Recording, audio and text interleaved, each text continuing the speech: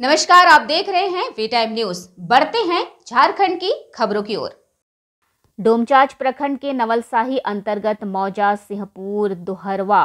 में पुलिया टूटने से कभी भी दुर्घटना के साथ आवागमन में बाधित होने की संभावना। वही स्थानीय ग्रामीणों सुरेंद्र यादव, दामोदर यादव, प्रकाश यादव, नकुल यादव वगैरह लोगों के द्वारा दी गई जानकारी के अनुसार गिरडी कुडरमा मुख्य मार्ग, कटारिया टांड स्थित पेट्रोल पंप से सिंहपुर और ग्राम दूध पनिया होते हुए नवलसाही बछेडी को जोड़ने वाली एकमात्र रास्ता है। जिस रास्ते से रोज़ाना सैकड़ों वाहन, ट्रैक्टर ट्रक व टेंपो वगैरह से गिट्टी, बालू व अन्य सामग्री की ढुलाई के क्रम में उक्त पुलिया वर्षों पूर्व क्रैक हो गया था, जो किसी तरह से वाहन वगैरह की आवाजाही हो रही थी। वही वर्तमान में उक्त पुलिया बुरी तरह से क्षतिग्रस्त हो गई है। उक्त पुलिया का तत्काल रिपेयरिंग नहीं होने पर भविष्य में कभी भी हादसे के साथ साथ आवाजाही बंद हो सकती है, जिससे स्थानीय लोगों को काफ़ी परेशानी हो सकती है।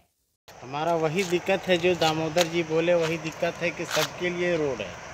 और इस रोड पे हर कोई जाता है गाड़ी भी जाता है हर इंसान जाता है। रात बरात ये जिस तरह ये गड्ढा हो चुका है कि किसी का भी पैर चला जाए गाड़ी का भी टायर घुस सकता है कुछ भी हो सकता है।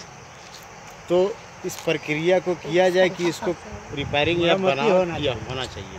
वी न्यूज़ के लिए डोमचात से विनय कुमार की रिपोर्ट।